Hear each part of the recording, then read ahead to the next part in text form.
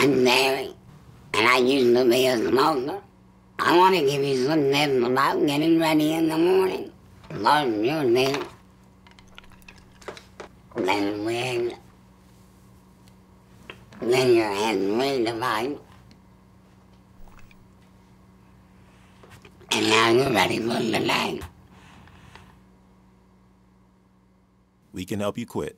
Call 1 800 QUIT NOW.